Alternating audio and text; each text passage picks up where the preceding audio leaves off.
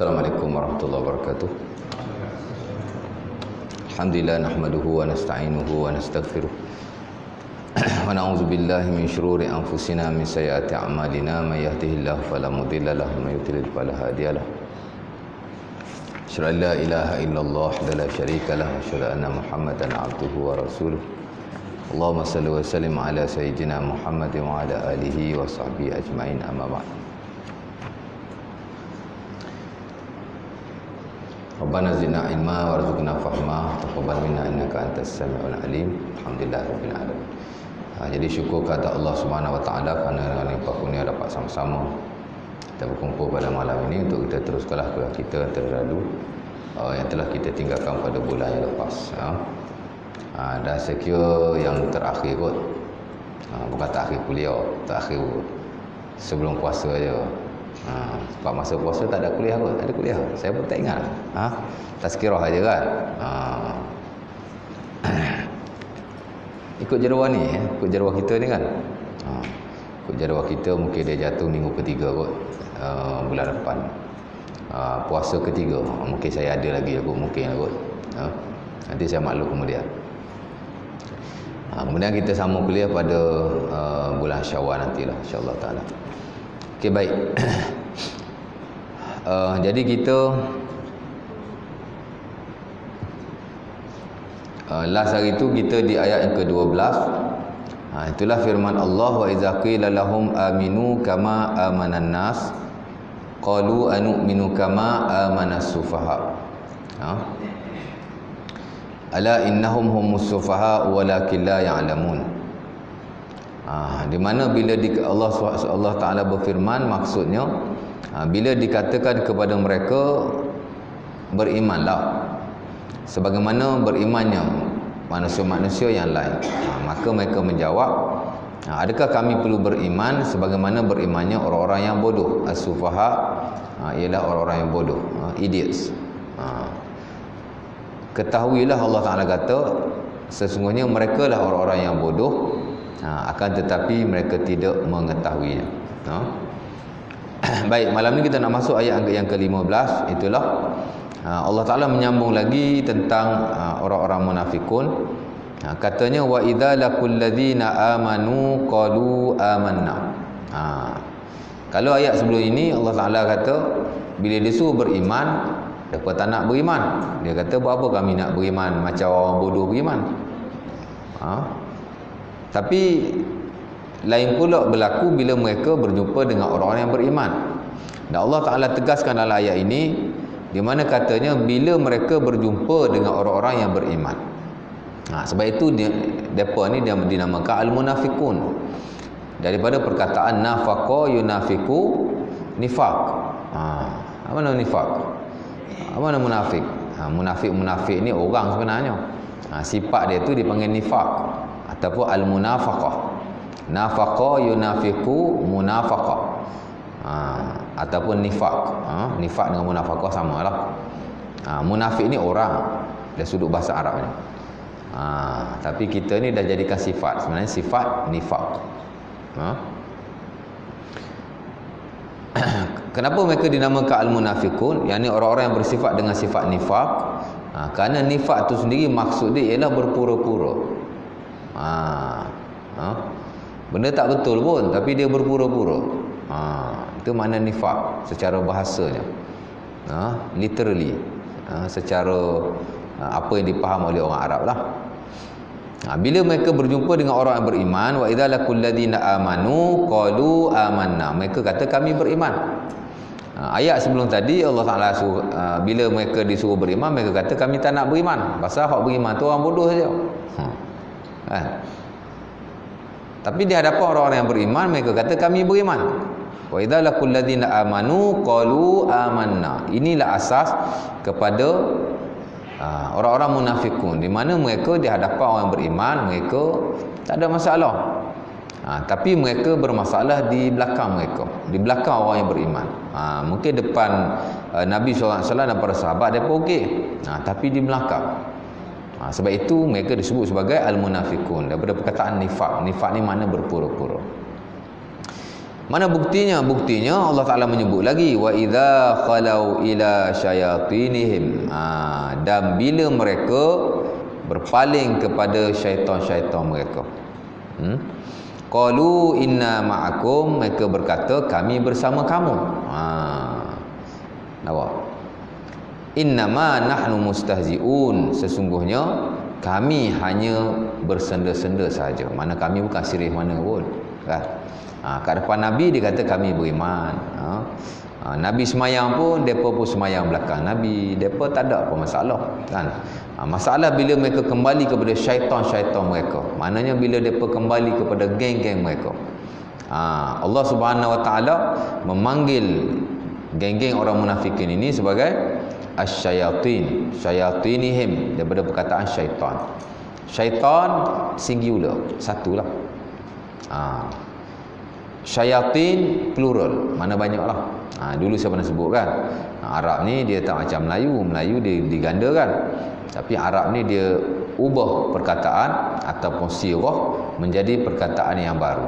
Ha, Kalau satu lain Kalau banyak lain ha, Melainkan kalau Setengah-setengah perkataan saja. Muslim seorang. Kalau ramai muslimun Atau muslimin tu lain lah ha, Tapi di sana ada Ini disebut sebagai jamak muzakkar salim Bagi orang belajar bahasa Arab lah. Ha, Tapi sebahagian besar juga uh, Plural adalah Perkataan yang diubah. Ha, Kalau satu buku kita kata kitab Kitabun. Kalau banyak kutub. Ha, Dia tak jadi kitab-kitab. Ha, Dia jadi kutubun Kutub. Ha. Ha, kalau satu syaitan dipanggil syaitan. Tapi kalau banyak dipanggil syayatin. Ha, itu itu itu bahasa Arab lah dipanggil jamak taksir. Ha, jamak taksir. Hmm? Ha, jadi Allah Subhanahu Wa Taala memanggil mereka dengan syaitan. Dan Allah Taala tak panggil perkataan syaitan melainkan kepada orang-orang yang teramat jahat. Ha, nampak? Ha? Ha, kerana syaitan ini bukan hanya syaitan yang betul-betul syaitan yang kita sebut sebagai syaitanul jin. Ha. Tapi di sana juga ada syaitan yang juga disebut sebagai syaitan walaupun dia bukan jin. Itulah syaitan al-ins, syaitan di kalangan manusia. Ha, sebab itu diwartakan uh, dalam buku-buku tafsir. Antara tafsir Al-Qurtubi rahimahullahu taala. Ha? Ha. Katanya as-syaitan syaitanan ataupun asyayatinu sinfan syaitan ni ada dua jenis syayatinul ins uh, sorry syayatinul jin syaitan-syaitan jin dan syayatinul ins syaitan-syaitan manusia ha. syaitan jin ni yang kita tak nampak lah kan ha. yang kita duk sebut syaitan lah ha. biasa kita sebut syaitan ni benda yang tak nampak lah syaitan yang tak nampak tu kan padahal ada dua ada syaitan yang tidak nampak syayatinul jin ha, dan ada syaitan yang nampak syayatinul ins. Ha, dan ini disimpulkan daripada ulama daripada ayat Quran yang kita sering baca juga. Surah An-Nas ayat ke-6 itu. Minal jinnati wan nas. Qul a'udzu birabbin nas malikin nas ilahin nas min syarril waswasil khannas. Ha. Alladhi waswisu fi sudurin nas minal jinnati wan nas ha, yang me, menghasut atau mewaswaskan dada-dada manusia di kalangan jin dan di kalangan manusia. Ha, Al-Khannas yang ni syaitan. Dan Allah Taala kata ada dua. Syaitan jin dan syaitan manusia. Ha, biasa kita takut kat syaitan jin saja. Oh, kan. Ha, anak kita orang Melayu, Nusantara Melayu ni kalau buat jin, buat syaitan ni boleh tahan juga kan. Ha, sehingga melibatkan kepercayaan tertentu yang tidak ada asas pun. Kan? Dan tak perlu takut pun. Ha, tapi lebih-lebih. Kan? Ha? Ha, hatta kalau kita tengok uh, movie ataupun cerita-cerita kalau hantu Mak Saleh, kita tak takut. Takut lah tengok hantu Mak Saleh. Kalau kita tengok hantu Melayu, takut. Oh. Ha, tuan-tuan. Kan? Ha? Ha, kalau tengok uh, cerita dulu, jangan pandang belakang. Oh, takut tuan-tuan. Ha. Ha, saya dulu masa belajar, saya balik seminggu sekali. Rumah saya tidur seorang-seorang. Lama dah ni cerita 12 tahun dulu kan. Ha, masa belajar di institusi di apa Institut Pendidikan Islam Selangor dulu. Di apa nama uh, MPI dia panggil kan. Ha. lepas tu rumah saya pergi tengok cerita jangan pandang belakang pula. Tahun 2006 tu kan. Hari-hari saya kena balik. Takkan pernah saya. Takut katanya. Ha, tu siapa suruh tengok cerita tu? Ha. Pasal cerita hantu orang Melayu ni memang takut. Tapi kalau tengok cerita hantu Mak Saleh ha, tak apa takut kot. Kan? Hantu Cina lagi tak takut. Terlompat-terlompat tangan strik macam tu nak takut apa? Kan? Tapi kalau hantu Melayu takut ha? Ha. nampak? Ha. Jadi itu yang banyak disebut itu yang banyak kita faham ialah syaitanul ins eh, sorry syaitanul jin itulah syaitan-syaitan di kalangan jin ha. ada kalanya dia berada dalam diri kita sebahagian daripada mereka ha. pasal Allah Ta'ala memberi kebebasan kepada mereka tak kalau Allah Ta'ala halau mereka ha. dia kata ya Rabbi bima awaitani la'awiyannahum ajma'in wahai Tuhan dengan sebab engkau telah mengeluarkan aku daripada syurga dan menyesatkan aku aku akan sesatkan mereka Ha, fa'anzirni ila yaumi yub'asun. Berilah aku peluang hingga aku dapat menyesatkan mereka sampai hari kiamat. Allah Allah Taala uh, beri. Allah Taala kata innaka minal muzarin. Okey, aku beri pada engkau. Kan? Ha, jadi dia diberi tempoh dan dia juga diberi kebebasan untuk nak hasut kita. Ha, bahayalah kita kata tu. Ha, sebagian mereka berada, berada dalam badan-badan kita. Hatta sebagian para fuqaha menyatakan bila kita lahir pun sudah ada berdasarkan pada beberapa nas yang ada. Ha? Ha. Dia ada dalam badan kita. Ha. Hatta Nabi sebutlah hadis Muslim daripada Ummu Salamah, "Asyaitan yajri min ibni Adam majrad dam." Ha. ini satu jenis syaitan dia duduk dalam badan manusia, dia boleh berlari mengikut saluran darah kita. Ha. mana dia bebas. Kan? Ha, dalam darah macam mana darah boleh berlari dalam badan kita? Ha, macam itulah dia boleh. Oh, dia kata badan kita ni playground dia lah kan ha? Syaitan dia jadi min ibni adam majrad ha, dalam sebagian nas sudah duduklah hati kita. Ha? Ha, dan Imam Syaukani rahimahullah taala dalam buku zikirnya Tuhfatil uh, apa Tuhfatuz Zakirin uh, membawa hadis ini dan menyatakan bahawa syaitan memang duduklah hati kita. Ya. Ha, itulah hadis Abi Hurairah yang diriwayatkan oleh Imam Al-Baihaqi rahimahullah taala. Walaupun sanadnya ada ada ada problem lah, ada yang kata tidak sahih, ada yang kata hasan. Tapi nak cerita. Ha, min uh, ibni Adam illa wa fi qalbihi baitan. Baitun lil malak wa baitun lil syaitan. Ya. Tidak adalah seorang manusia itu melainkan dalam hatinya ada dua rumah. Satu rumah untuk malaikat, satu rumah untuk syaitan. Hmm. Iza zakarullah ha, Bila dia ingat Allah Kharaja Dia keluar. Fa idza lam yazkur Allah azza wa jalla khanasa wa wada'a min qar apa idza idza zakarallah khanasa wa idza lam yadhkurhu wada'a fi qalbihi eh, sorry wada'a min qarahu ala qalbi. Ha, kalau kita ingat Allah dia lari ya. Tapi kalau kita tak ingat Allah dia dia duduk patuk. Dia duduk patuk kita punya hati tu ha? ha, mana jadi tempat duduk dia lah. Ha, sebagian daripada mereka. Ha, sebab itu nak berlepas diri daripada syaitan ini susah. Ha, hatta Nabi SAW kata lah dalam sunnah At-Turmuzi dalam badan aku pun ada syaitan. Aisyah pun tanya ha, eh dalam badan kau pun ada juga ke? ada. Nabi kata walakin aslamu. Tapi mereka telah masuk Islam. Ha, ha, mereka telah Islam.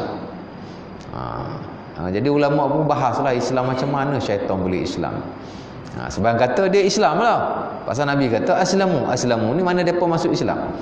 Tapi sebagainya umpama Imam Ibn Arabi menyatakan bahawa bukan dia masuk Islam. Syaitan ni dia tak masuk Islam. Ha, tapi dia uh, menyerah diri kepada Nabi dan dia tidak dapat menghasut baginda lagi. Mana dia tak boleh buat apa-apa. Itu maksud Islamnya syaitan. Ha? Ha, ada kalanya dia di luar badan kita. Duduk dalam badan kita ni yang patut kita takut sebenarnya. Ha, nampak? Ha, ni kita ada takut kat luar tu. Ha, oleh dalam badan tu tak takut. Patut dalam badan kita lah kita takut. Kita kena banyak semayang, kita kena banyak uh, baca Quran, kita banyak buat benda baik. Ha, jaga mata kita, jaga lidah kita pasal apa? Pasal nak duduk, nak suruh duduk dalam badan kita lari ni. Kan? Ha, duduk kat luar tu biarlah. Kan? Nak suruh lari juga, tapi orang dalam badan tak suruh lari macam mana? Ha? Ha? patut orang badan kita ni kita kena ha?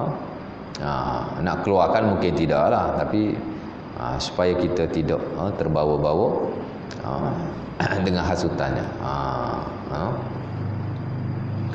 kadang-kadang dia di rumah kita ha, ada banyak juga nak menyebut syaitan ni duduk dalam rumah kita Ha, sebab itu rumah kita mesti aman daripada syaitan. Dengan cara macam mana? Panggil ustaz. Mari baca Quran sikit, main ngaji hari Yasin sikit macam tu ke? Islam tak ajar cara macam tu. Islam ajar kita mesti ha, menjadikan rumah kita selaku, sebagai rumah yang dipenuhi dengan rahmat Allah dan dipenuhi dengan nilai-nilai ibadah. Ha, kita lihat ada di Nabi sallallahu alaihi wasallam Semayang umpamanya. Kenapa kita disuruh semayang di rumah? Terutama semayang-semayang sunat lah. Bukan terutama. Memang semayang sunat. Suruh disemayang di rumah. Hatta Nabi SAW memerintahkan. Dalam hadis Abi Dawud dan beberapa yang lain. Daripada Abi Hurairah. Nabi kata, Iza sallu uh, fi masajid. Nabi kata, Iza qadaitumus salah fi masajidikum. Faj'alu nasibakum min salatikum fi buyutikum fa innallaha ja'il li buyutikum khairan. Nabi kata bila kamu dah semayang di masjidmu, ha, semayanglah pula di rumahmu. Dan jadikanlah sebahagian daripada solatmu di rumahmu. Nescaya Allah Ta'ala akan membawa masuk kebaikan yang banyak ke dalam rumah. Ha? Ha, kena banyak semayang di rumah, baru setan lari. Di rumah kita semayang tak ada. Yang ada benda lain. Ada televisyen, ada radio, ada macam-macam kan. Ha, Quran ada tuan-tuan kat rumah. Tapi tak baca. Tak jadi tak bermanfaat apa-apa letaklah satu almari Quran pun kan ha. sebab itu saya amat tak setuju sebagian pendakwa lah saya minta maaf dia kata letak sahih Bukhari dalam rumah setan lari letak Quran pun setan tak lari kalau kita tak baca tak sahih Bukhari apa yang ada dalam sahih Bukhari tu ha. setakat hadis Nabi ya hadis Nabi ni bukan macam Quran tak boleh nak lawan Quran pasal Quran ni kalau mullah dia mukjizat. Setiap kali kita baca dapat pahala. Sahih Bukhari ni hadis Nabi, hadis Nabi tidak beri pahala setiap huruf yang kita baca. Kalau kita belajar, kita baca, kita amal dapat pahala. Tapi kalau tidak, tidak. Tidak ada apa karamah pada buku tuan-tuan. Hatta buku ni lewat. Zaman Nabi Quran pun tak ada. Ada mushaf ke zaman Nabi? Saya tanya. Zaman Nabi ada mushaf? Ada Quran seketui macam ni? Tak ada. Sahih Bukhari jauh sekali. Zaman Nabi tidak ada buku.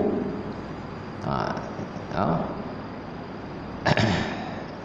Sebab itu sebagian daripada kawan-kawan kita ha, dia beritahu kalau pergi mengajar bawalah kitab dia kata ambil keberkatan.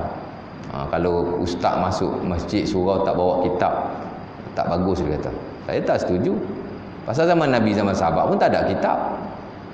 Al-ilmu fi sudur laisa fil kutub. Ilmu dekat dada bukan dalam kitab. Kitab mungkin kita baca di rumah. Bila kita mengajar tak nak tengok kitab pun tak apa. Tak ada masalah. Ha. ha. buku ni tak ada apa-apa. Zaman Nabi tidak ada buku hatta Quran. Tidak ada mushaf. Yang ada hanya tulisan di lembar-lembar yang disimpan oleh para sahabat. Tapi dia baca Quran ala zahri qalbin. Dia baca dengan hafalan yang kita nak bacaan itu. Tapi bukan apa yang ditulis. Ha. jadi Quran yang di rumah kita kena baca. Hatta kalau rumah saya tak ada mushaf ustaz. Tak ada masalah. Tak wajib lah rumah ada mushaf. Tapi kamu kena baca Quran tapi kalau ada lebih bagus saya dalam, kereta, dalam rumah ada Quran. Dalam kereta saya ada Quran. Di sekolah ada Quran. Di universiti ada Quran. Tempat saya mesti ada satu mushaf satu mushaf. Pasal kita tak hafal. Kalau kita hafal tak apalah kan.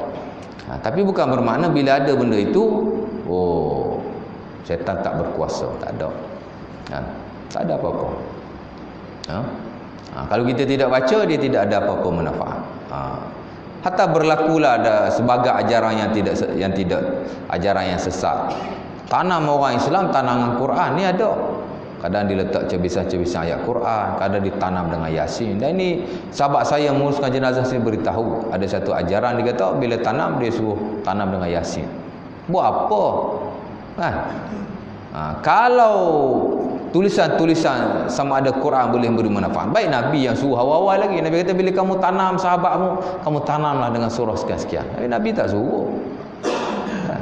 Quran bukan macam tu. Itu bukan ajaran Islam itu. Ha? Quran mesti dibaca dan mesti diamalkan. Ha, bukan dengan cara menggantung-gantungkan, menulis-nuliskan. Kita tulis untuk rujukan kita saja. Ha, hatta pada suatu hari nanti para ulama menyatakan bahawa Quran ini akan dihapuskan. Bukan dihapuskan akan di uh, di, di, di, dihilangkan daripada mushaf. Allah taala alam. Ha, tapi dia kekal dalam dada-dada manusia. Ha? Ha, jadi Quran nak cerita lah rumah kita kena baca. Nampak ha. semayang kita semayang. Ha, dan dalam riwayat yang lain Nabi kata bacalah Quran. Bila kita belajar uh, suratul baqarah. Kebiasaannya dalam buku-buku tafsir uh, didatangkan beberapa hadis tentang kelebihan surah al-baqarah. Antaranya ialah menjauhkan syaitan. Pasal nabi sebut dalam hadis muslim dan juga bukhari daripada abi hurairah. Kata nabi ij'alu uh, sorry iqra'ul quran. Nabi kata bacalah quran fi buyutikum di rumahmu. Ha, sebab tempat terbaik nak baca quran pertama sekali di masjid. Ha, yang kedua di rumah kita atau sebagai ulama kata pertama di rumah kita yang kedua di masjid. Yang banyak disebut oleh Nabi sallallahu alaihi wasallam. Pertama masjid kedua rumah. Rumah kita lah. Ha? ha. bacalah Quran di rumahmu kata Nabi. La taj'aluha kubura. Jangan kamu jadikan rumahmu seumpama kubur. Ha. Ha? Nampak itu sebagai ulama kata eh, zaman Nabi Quran kubur tidak di, eh, di kubur tak baca Quran. Pasal hadis ini menyatakan jangan jadikan rumahmu seperti kubur. Ha. Nabi kata dan waqra'u al-Baqarah wa al-Imran dan baca surah al-Baqarah dan surah al-Imran. Dia akan datang pada hari kiamat menjadi uh, pembela bagi kamu dan ujung tu Nabi kata uh, apa nama wa inna syaitan yanfur minal baitil ladzi yukra fihi suratul baqarah. Nabi kata syaitan akan lari daripada rumah-rumah yang dibaca padanya surah al-baqarah. Ha nampak? Ha, jadi rumah kita nak aman daripada gangguan syaitan dan seumpamanya baca Quran sedikit ha, kalau kita pergi baca oh, kita baca-baca kita balik ha, syaitan tak masuk lah tak. Dia kena dilakukan secara continuously. Islam tak ajar kita buat satu-satu waktu saja lepas tu habis tak tapi di sana sentiasa ada nilai istiqamah ha, istiqamah tu ada ha. Ha. macam kita kata semain terawih lah memang afdal semain terawih ni ha. tapi majoriti ulama mengafdalkan semayang rawatib hatta yang muktamad dalam mazhab syafi'i rawatib lebih afdal daripada terawih ha. kalau kita rutinkan rawatib setiap hari walaupun sekadar dua rakaat dan dia tidak solat terawih lebih baik daripada orang yang semayang terawih sebulan lamanya tapi dia tidak semayang rawatib langsung.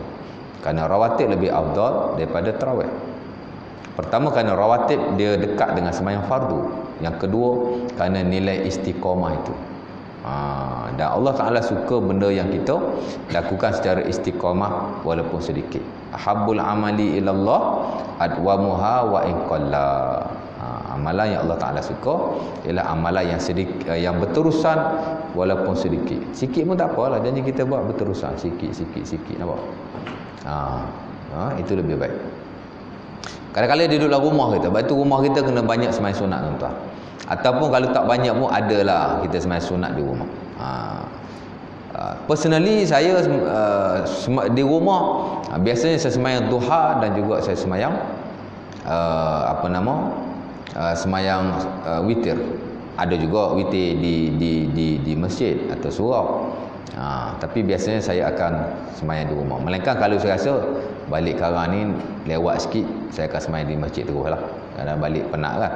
Ha, tapi uh, most of the time banyak saya semayang di rumah witir. Ha, jadi siang ada semayang malam pun ada semayang. Walaupun hanya satu rakaat. Okey lah tu. Janji semayang ada di rumah sama juga dengan baca Quran dan selain. Ha, nampak dan Nabi SAW menyatakan kalau kita masuk rumah kita uh, kita sebut nama Allah. Sekurang-kurang kita bagi salam. Buka pintu Assalamualaikum kepada orang yang ada di rumah kita. Ha, Nabi kata setan lari. Ha, dia menyeru sesama mereka la mabitalakum oh malam ni kita tak ada, tak ada tempat tidur lah kata. Ha, kan? Ha? Ha, itulah hadis Bukhari daripada Anas bin Malik. Nabi kata idza dakhala ahadukum baitahu fazakarallah. Siapa-siapa yang masuk dalam rumah dia dia sebut nama Allah. Ha. syaitan akan kata la mabita lakum. Eh geng-geng aku malam ni kita tak ada tempat tidur lah. ha. dan bila dia nak makan pula dia kata dia baca bismillah syaitan kata la asya'alakum oh tak ada makan malam lah kita malam ni. Ha. mana dalam rumah kita mesti ada zikrullah. Bila ada syaitan dia tidak boleh bermaharaja lela lah. Dalam rumah kita walaupun dia boleh masuk. Kan Ha. Ha. Tapi bila kita masuk rumah tak baca, tak baca apa-apa, bagi salam tidak. Kan? Uh, ha? apa-apa tak buat lah hatta bila kita makan pun makan tak tak bismillah tak baca doa ha, dia akan menyeru sesama mereka dia kata adraktumul mabit oh malam ni kita ada tempat tidur kita ada tempat tinggal katanya ha, tapi makan pun sama. Kalau kita makan tak sebut nama Allah dia akan kata adraktumul asya. Wahai geng-geng aku ha, malam ni kita ada makan. Ha, menunjukkan dia bersama kita anytime anywhere. Kalau dia duduk dalam badan kita mana-mana kita pergi pun dia pergi juga. Kan? Ha, dan kalau dia duduk dalam rumah kita ha, mana kata dia apa pasal syaitan. Allah Taala memberi keizinan kepada ha? Hmm. Ha, baik itu itu dia panggil dan adalah tempat-tempat yang lain mana kata dia dia Allah Taala beri kebebasan itu syaitanul jin ha. ha kita takut jugalah bukan takut macam mana pasal takut dia akan merosakkan kita Ha, tapi di sana juga ada syaitan-syaitan yang disebut sebagai syaitan manusia. Hak ni pun kita kena takut juga. Ha, dan kadang-kadang syaitan manusia yang lebih bahaya daripada syaitan jin. Betul tak? Ha. Ha? Siapa syaitan manusia ni ustaz? Banyak. Ha. Sebagian ulama kata al-musyrikun. Itulah orang-orang yang musyrikkan Allah. Al-kufar lah. Ha, dia musyayatin. Pasal apa? Dia bukan ajak kita pergi agama mereka pun. Yes. Tapi kadang-kadang dengan sebab mereka mensyirikan Allah, kadang-kadang sebagai orang Islam akan terikut-ikut dan terpengaruh dengan mereka. Ha, terutama orang yang tidak ada ilmu, dia ingatkan tak ada apa kot. Ha, selain kita dah beritahu dalam hak ehwal akidah dan ibadah, kita tidak boleh berkompromi dengan mereka. Dia pun buat ritual, kita nak pergi ya, nak pergi join tak boleh. Oh, nak ambil gambar, start selfie selfie. Ya. Ha, ha. Hatta dalam setengah-setengah perayaan orang Islam yang ramai di situ. Ha. Pernah pergi Taipusa? Pernah pergi? Ha? Tak pernah pergi? Oh, ni bagus tak pernah pergi. ha. Ha. Saya duduk di KL ni dah 23 tahun. Duduk semua dekat-dekat dengan Batu Cave. Saya duduk di Gombor lama. Saya belajar di situ. Lepas grad pun saya duduk di situ 3-4 tahun. Eh, banyak dekat lah situ. Ha? Ha, tapi saya tak pernah pergi tengok. Nak pergi buat apa? Ha, pasal itu perayaan depa. Ha? Ha, dah begitulah hal yang ada benda kita boleh join, ada benda kita tak boleh join. Ha? Ha. Nampak? Ha, Al-musyrikun. Ha, sebahagian uh, kelakuan mereka, kelakuan mereka akan kita uh, tiru Ha, hatta kalau tidak bersabit dengan ritual agama pun dalam kadang-kadang dalam hal-hal lain yang menyalahi syariat Islam maka depa juga sebenarnya uh, sebahagian daripada syaitanul ins syaitan-syaitan manusia ha uh, kadang-kadang orang Islam ni ikut-ikutlah kan? Ha depa tak apa depa bebas.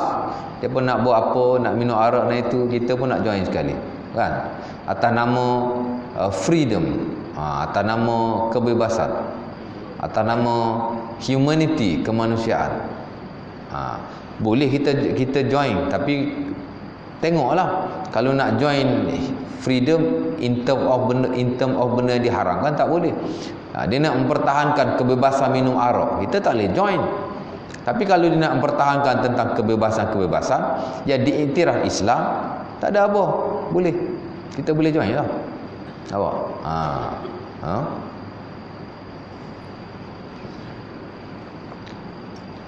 Al-musyrikun. Yang kedua al-munafiqun. Orang munafik pun syayatinul ins. Ha, syaitan manusia juga. Ha, terutama orang munafik pada zaman Nabi wasallam. Ha, zaman ni munafik tak ketara sangat. Ha, dan kita tak boleh nak kaitkan sangat dengan munafik pada zaman Nabi wasallam kerana munafik pada zaman Nabi dia setaraf dengan kufar.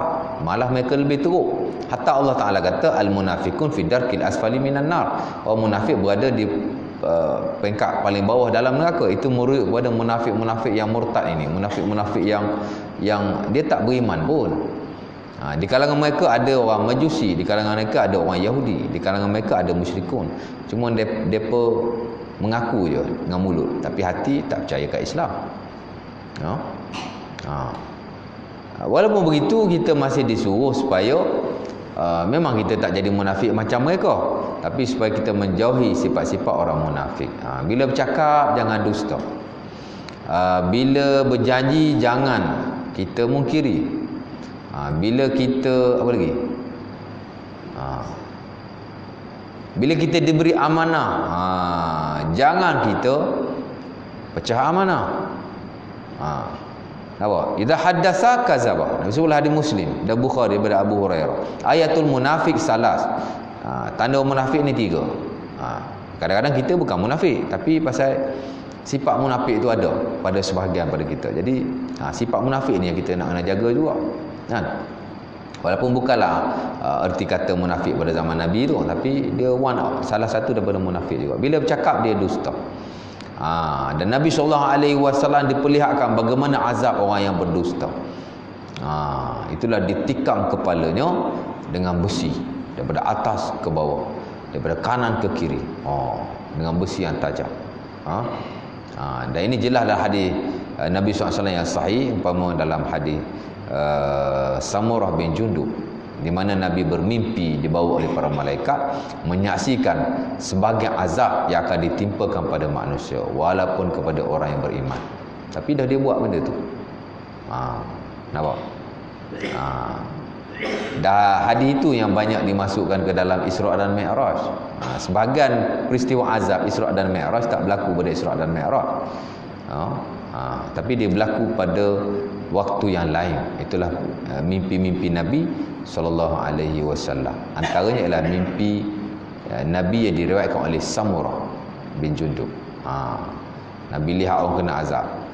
Ha dan bila ditanya Jibril cakap ha malaikat bagi tahu dia ni iza kaziba al kaziba tasuddul afa ha orang jenis macam ni orang bila dia bercakap dia uh, penipuan dia tu pendustaan dia tu boleh menutupi ufuk timur dan barat ha Mak kata menipu betul lah. Kalau 10 benda dia cakap, 20 tak betul. Ha, sampai tahap macam tu. Menipu je kerjanya. Ha? Ha? Ha. Saya pun ada menipu juga ustaz sekali-sekala. Ha, istighfar cepat-cepat, bertaubat. Ha, tapi kalau ada penyakit menipu A sampai Z, ha, tu nak kena berhenti. Ha, itu tertaluk kepada hadis ni ha, dan dia merupakan azab yang amat berat lah daripada Allah Azza wa Jalla ha, nah kadang-kadang kita ni bila bercakap tuan ha, ha, ha, bila bercakap ni kadang-kadang nak bagi sedap cakap tu ada lah sikit, sikit sebanyak kita tukuk tambah tu kan ha, hatta saya sendiri pun. Batu bercakap ni kena-kena kurangkan sikit. Bila nyembang banyak sangat dia jadi tambah sendiri. Nak bagi sedap. Ha, mudah-mudahan tak termasuklah insyaAllah ta'ala. Ha, tapi kena istighfar lah insyaAllah ta'ala. Ha. nampak? Iza wa'ada akhlafa bila dia berjanji dia tidak dia tidak menepatinya memukirinya. Ha, itu pun kita kena elak juga berjanji kan. Ha, sebab itu kalau tak boleh jangan berjanji ha. Ha.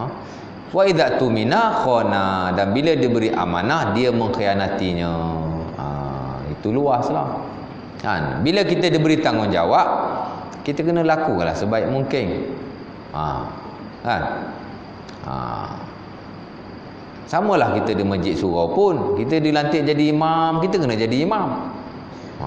Haji imam saya imam tadi saya tanya dia lah ha saya bukan imam ustaz. Ha mana imam yang dilantik ni? Dah tak ada lah ustaz. Ha nanti yang lain pula. Ha kadang-kadang kita ni yalah saya lihat. Ha, saya pun pernah jadi pengusi surau saya pun pernah jadi timbalan nazir masjid kan? Ha, tak ada bagus mana pun. Tapi kita tahulah kerana sebagai orang kita ni. Ha, dan tak dinafikan. Sebagai orang ni memang dia gila jawatan pun. Nak jawatan tu nak jawatan tu tapi kerja buat tak ada pun kan ha. Ha. ataupun ha. nak ha. Sedangkan kita kena lihat. Kalau kita tak mampu, kita tarik diri. Kalau kita mampu, go on. Ha? Semualah. Pengurusi baik, ha, imam baik, bilal baik. Ha, sementara pula di surau ni tuan-tuan, banyak tak ada sagu hati. Kerja voluntary saja. Volunteer saja. Kan? Ha. Kalau ada elang dan sagu hati pun tidaklah besar. Kan? Bukanlah sampai beribu-ribu ringgit. Kalau di masjid tu hak majlis agama bagi tak banyak, masjid top up. Ha, kalau masjid tak top up sikit sangat. Ratus-ratus je. Mana cukup depa kan. Tapi tak kisahlah soal sagu hati itu soal lain. Tapi nak cerita once kita dilantik ada sagu hati tak ada sagu hati kita mesti menjalankan tanggungjawab kita. Ha. Nampak? Bila kamu dilantik sebagai Bilal, cukup masa kamu kena azan. Bila kamu dilantik menjadi imam, cukup masa kamu kamu kena jadi imam. Ha, dan kalau tertunda jemaah, kamulah berdosa mula-mula sekali sebelum orang lain. Ha, sebab tu jangan main-main. Rasa tak boleh tarik diri. Bagi orang yang betul-betul boleh melaksanakan tanggungjawab. Dan ini banyak berlaku di banyak tempat. Ha? Nampak? banyak surau saya pergi. Ada yang tu jadi imam tu mesti surau. Tu saya tanya mana imam mana imam kita? Asyik musi jadi imam. Ha.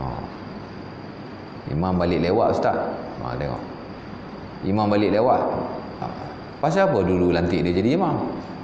Ha, okeylah orang lantik. Apa siapa dia sanggup? Tarik diri. Ha? Kan? Ha, ini pun satu masalah juga. Sebab tu bila kita nak buat masyarakat agung pelantikan, kita jelaskan untuk apa pelantikan dibuat. Bukan hanya untuk tangkap muat. Tapi supaya orang dilantik dapat melaksanakan tugasnya. Jawatan ni tak ada apa-apa. Kan? Memanglah. Ha, kadang sagu hati tidaklah besar. Kalau tak ada sagu hati pun kadang orang nak jawatan ni kerana dia nak pengaruh. Dia nak bagi ada nama sikit lah. Korang panggil aku Bilal. Korang panggil aku Imam. Walaupun dia tak pernah jadi imam. Ataupun jarang-jarang jadi imam. Kadang-kadang jawatan ni ada juga kepentingannya. Kan? Ha. Biar orang lantik kita genuine tuan-tuan. Dan tak perlu kita pakat-pakat. Ha. Eh malam ni kita lantik kawan kita ni tau. Buat pakatan. Tak payah. Biar dilantik secara genuine dan disokong pun secara genuine. Barulah esok-esok pengurusan kita boleh berjalan dengan baik. Pasal orang yang dilantik ni betul orang yang layak dan memang dia sendiri pun mampu melaksanakan tugas. Ini pasal ha, yang tak yang dilantik tu tidak tidak layak, bukan tak layak macam mana kadang-kadang masa tak ada dah seumpamanya. Jadi kita nilai diri kita. Ha, dan letak diri kita di tempat yang sepatutnya. Ha? Ha, kalau kita mampu jadi bendahari, jadi bendahari. Ha, hatta di tempat saya pun. Ha, Dua orang dah jadi bendahari di masjid kami. Dua-dua kerja bank. Tapi saya rasa menyediakan kewangan saya lebih baik daripada mereka. Walaupun saya ustaz. Saya bukan orang kewangan. Ha. Ha. Kadang-kadang latar belakang ni pun belum tentu lagi. Ha. Dan saya pernah menyandang bendahari di satu di tempat saya dulu. Yang mana bendahari yang asal ialah seorang accountant bertauliah. Bukan isu latar belakang tu. Kadang-kadang latar belakang bagus. Tapi kerja tak bagus. Ha. Ha. Saya pun ada juga ilmu tentang financial ni. Tapi informal lah. Tak ada kelulusan.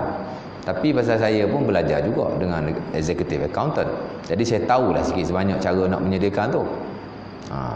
Tapi yang ada formal uh, kelulusan rasmi, kadang-kadang tak buat kerja. Ha. Ha. Itu masalah dia. Ha, jadi tak perlu kita ni sangat. Ha, bagi pada orang yang lebih layak. Orang yang dilantik, nak kita nak lantik orang pastikan kelayakannya. Bukan bukan kerana sahabat kita, bukan kerana apa. Kan? Ha, ni dekat-dekat nak musim ni tak lama nak masuk agung. Kita pun sama. Bila kita dilantik, ha, nilai diri kita. Aku ni boleh tak boleh? Tak boleh tarik diri. Ha, ha, barulah. Nak cerita biar genuine lah. Genuine ni mana asli lah. Asli. Lillahi ta'ala. Ha? ha, itu maksudnya. Ha, dan kita lihat sebagian pengurusan gagal dengan sebab itulah pelantikan hanya untuk tangkap muak ataupun tidak kena betul lah dengan orangnya. Ha? Ha, nampak? Isyarat ke? Alamak ada isyarat.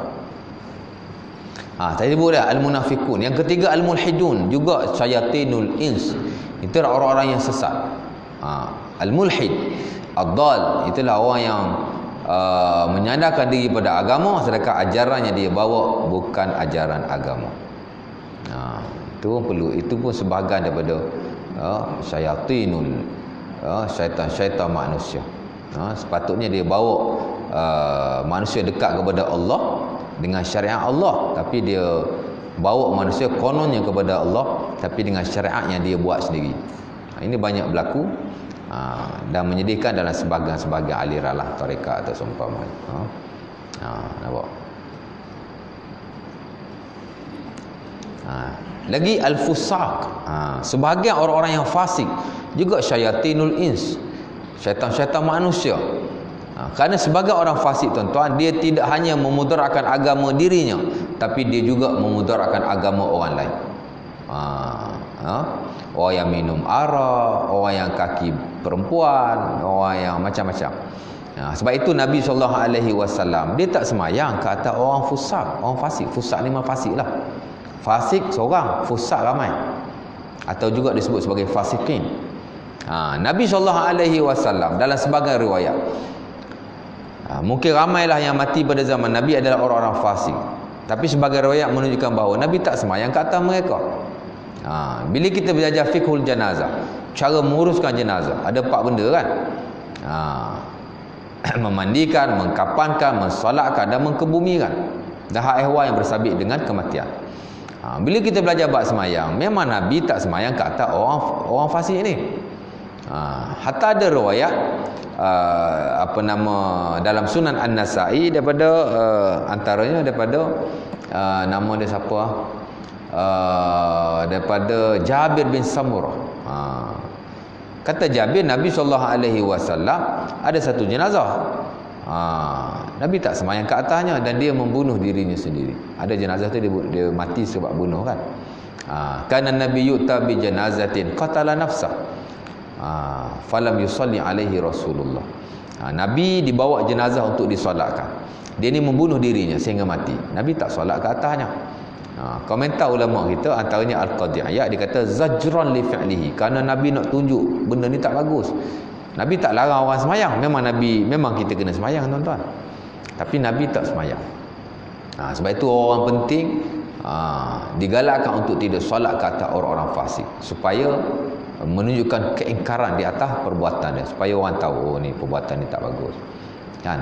Tapi hak lain samalah. Dia dimandikan, dikapankan, juga ditanam di perkuburan orang Islam. Sama jugalah. Ha, di tempat saya tuan-tuan ada seorang. Dia jiran saya. Jiran saya. Ha, dan teman semua sepermainan saya semasa kecil. Ha, cuma jalan kami berbeza lah. Ha, saya ramai sahabat-sahabat saya tuan-tuan zaman saya sekolah rendah lah. Sahabat-sahabat sekolah rendah. Ha, bila dah naik sekolah menengah, sebagian mereka memang pergi sekolah menengah. Saya pergi sekolah agama. Ha, jadi bila saya pergi sekolah agama, ha, saya boleh kata 90 atau 80% sahabat saya sekolah rendah tak pergi sekolah agama. Saya pergi sekolah agama disebabkan sahabat yang lama ni tak ramai. Jadi saya dapat sahabat-sahabat yang baru. Ha, tapi kita masih kontak, masih lihat. Ha, samalah sahabat sepermainan kan. Ha, sebagian sahabat bila kita jumpa mabuk-mabuk kat tepi pantai, tuan-tuan. Ha, tapi kita tak, tak berkawan lah. Tapi kita kenal lah. Dia ni geng aku ni zaman sekolah rendah dulu ni. Ha, dan ada juga sahabat saya. Teman semermainan saya masa sekolah rendah. Ha, bila sekolah agama, saya sekolah agama. Dia tak sekolah agama. Tapi sebab jiran lah. Ha, jiran dekat benar lah. 20 meter rumah saya pun. Kan? Ha, mati membunuh dirinya. Dia gantung diri di atas pokok. Saya tahu pun masa belajar. Ha, orang tua saya telefon bagi tahu. Ha, meninggal. Pasal terlibat dengan dadah lah. Ha, orang dadah ni memang lah kan. Dia boleh bunuh orang. Dia boleh bunuh diri dia sendiri. Ha, dia gantung pokok dia dekat, dekat pokok kan. Dia ikat tali ke atas dia, dia gantung. Ha. Ha. Jadi kata Jabir, Nabi SAW dibawa datang seorang jenazah. Dia membunuh dirinya, Nabi tidak solat ke atas. Ha. Okeylah tuan-tuan, jenazah diuruskan sebagaimana biasa. Tapi dikebumikan di tanah perkuburan orang Islam Tapi dibucu pagar Dibucu sekali. Ha. Dan saya sebenarnya tak bersetuju dengan perbuatan imam berkenaan. Masa tu saya tak ada lah. Masa tu pun saya budak lagi. Saya belajar di universiti. Bila saya balik Saya pergilah di, ke kuburnya. Saya lihat kuburnya berasingan. Jauh. Jauh lah diasingkan jauh hujung. Ha. Kan? Nampak Sebenarnya tidak perlu lakukan sedemikian. Ha? ha? Tanam sekali, macam biasa. Kerana tidak ada beza. Ha? Dia masih Muslim. Kenapa dibezakan ujung tu? Kalau nak dibezakan semasa solat, yes, kita bezakan sebagai nak tunjuk keingkaran kita. Itu dilakukan oleh Nabi wasallam. Adapun mengkebumikannya tidak boleh berasingan, mesti ditanam di tanah perkuburan orang Islam. Saya tak nafi ada sebahagian fatwa mungkinlah yang kata diasingkan. Ha, tapi muktamad mazhab keseluruhan ditanam bersama-sama dengan orang muslim. Ha, kerana bila ditanam berasingan dia memberi kesan yang buruk juga kepada keluarganya. Betul. Ha, tak? Yang buat salah dia. Tapi orang cakap tak habis-habis. Dengan sebab lalu je nampak kubur. Lalu je nampak kubur. Dia seorang kubur dia. Ha. Ha. ha. Dah mengikut apa yang saya belajar saya kaji saya lihat lihat lihat lihat lihat. Allah taala alam. Saya tak jumpa juga ulama yang kata ditanam secara berasingan walaupun di tanah perkuburan yang sama. Ha, mungkin imam kita tu dia ada fatwa lain lah. Tapi yang kita tahu yang muktamad tidak. Malah dia memberi kesan buruk pula kepada keluarganya. Orang akan ingat sampai bila-bila kes tu. Pasal memang kubur dia berjauhan. Nak buat apa? Dia pun dah mati. Tanah macam biasa aja ha, yang dinaskan oleh Nabi ketika solat adapun pada waktu yang lain dimuktamadkan dilakukan sebagaimana biasa dia masih muslim ha. Ha. kalau ada fatwa individu sekalipun tak semestinya kita ikut jika dia memberi kesan yang buruk tak payah ha. Ha. tapi kita pun faham lah sebagai imam kita ni pun uh, ha. kalau saya lah kalau saya ada pada waktu itu ha, saya takkan benar dia ditanam secara berasingan siapa dia tuan-tuan saya kesian pada keluarga ha. buat apa nak ditanam berasingan ha? Ha. ha, itu al-fusa ha, al-fusa eh? Ha, jadi uh, golongan-golongan ini disebut sebagai syaitan. Walaupun dia tidak mempromosikan kejahatannya tapi orang lain akan terikut-ikut dan terbawa-bawa. Maka Nabi SAW mengambil inisiatif supaya ha, mereka ini ha, dijauhi dan sebagai perbuatan mereka diingkari. Dan antaranya macam itulah bila dia mati dia tidak disolatkan. Ha, hatta Nabi SAW bukan orang buat dosa yang teruk-teruk pun. Ha, orang yang mati meninggalkan hutang pun Nabi tidak solat ke atasnya pada peringkat awal. Ha? Ha.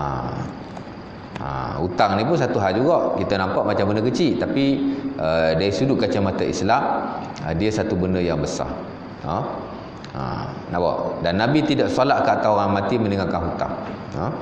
Ha, dan dia juga termasuk di kalangan orang-orang yang fasik kerana uh, ini hutang-hutang yang orang kata kita hutang kita tak bayarlah ha? kalau hutang berjadual dengan bank tu tak apa. Pasal memang dia dilindungi insurans. Ataupun maybe kita pinjam uh, secara individu. Uh, maka kita perlu beritahu anak isteri kita dengan siapa kita berhutang. Malah wajib kita berwasiat kepadanya. Wasiat ni ada dua. Satu uh, satu wasiat yang wajib satu wasiat yang sunnah. Wasiat yang sunnah ni bila kita nak kita nak beri kepada uh, orang-orang tertentu secara Uh, tak wajib lah. Bila aku mati ni duit aku kau bagilah sikit kat uh, anak yatim tahfiz masjid. Itu yang sunnah. Tapi wasiat yang wajib ialah kita mewasiatkan harta kita uh, kepada orang yang memang kita wajib bayar kepada kita ada hutang dengan si A. Uh, kita kena beritahu si kita aku ada hutang kat si A ni. Kalau apa-apa jadi pada aku kau bayar kat dia. Itu wajib. Uh, nampak? Uh, hatta kalau hutang di bank pun Ha, kalau boleh agreement-agreement yang penting-penting kita simpan di satu tempat. Ha, dan isteri kita boleh akses kepada perkara itu. Ha, hatta kalau tuan-tuan ambil insurans nyawa dan seumpamanya, isteri kena tahulah. Ha, sebab sebahagian bank ni kalau kita tak claim dia lagi suka. Ha, jadi bagi dia tahu, aku tak ada kau buat ni, buat ni, buat ni. Ha, saya dalam rumah saya tuan-tuan, dalam bilik saya dengan isteri saya ada satu papan kecil, papan whiteboard. Ha, Ha, jadi saya tulis kat situ. Yang penting-penting kalau aku mati inilah yang aku kena buat. Ada. Ha, sejak saya mula-mula kahwin lagi. Ha, terutama benda-benda yang bersabit dengan orang lain. Ha? Ha. Semalam pun saya sukan. Kerja saya beli uh, bak sekolah dia ada buat jual-jual kan. Ha, saya ada belilah barang-barang untuk sekolah jual tu. Ha, semalam ada lebihan lah baki RM20 sekali dengan resit-resit. Saya masuklah sampul saya tak kat, kat pintu kereta. Ha, tadi pun sempat lagi saya beritahu isteri saya. Ha, saya kata ni resit sekolah ni. Apa-apa jadi kau bagi kat sekolah ni RM20 ada dalam. Ha, masa semalam kan cuti tak ada nak bagi. Eh, kita kena RM20 pun duit orang tuan. Kan? Ha, jadi tak boleh. Apa-apa yang melibatkan hak orang lain kita kena beritahu anak isteri kita dan dia termasuk dalam wasiat yang wajib ha, semestilah lah dalam hal-hal yang lain ha? Ha. apa yang rumah kita nak kena buat bila kita tidak ada ha. kan nombor satu, nombor dua, nombor tiga ha. kan yang bersabit dengan harta atau apa-apa lah ha. itu termasuk dalam wasiat yang wajib ha. Ha. nampak ha. lagi bagus hujung-hujung nombor lima, nombor enam hujung-hujung tu ha. lepas dah cepat-cepat kahwin ha, perempuan pun sama. Ha, ujung-ujung wasiat tu kan ha, jangan bersedih lama-lama. Bila saya mati cepat-cepat kahwin. Ada berani ha. itu wasiat juga tu. Kan? Ha? Ha. nampak? Ha, jadi kita berhenti setakat ayat itu. Ha, jadi itu adalah syaitan-syaitan yang disebut dalam buku-buku syarak ha, yang perlu kita tahulah tuan-tuan. Dan sebagan kita tak nafilah. Ha, manusia bertopingkan syaitan. Jadi kita pun nak kena hati-hati. Ha, sebagian orang dia bawa kita dekat pada Allah. Ini kita nak kena ha, duduk dengan mereka. Sebagian orang dia menjauhkan kita daripada Allah. Ini jangan campur sangat. Tak? Ha, kerana sebagian daripada orang seumpama ini dia tergolong daripada syaitan syayatinul ins syaitan-syaitan manusia. Kan? Ha nampak ha? boleh ada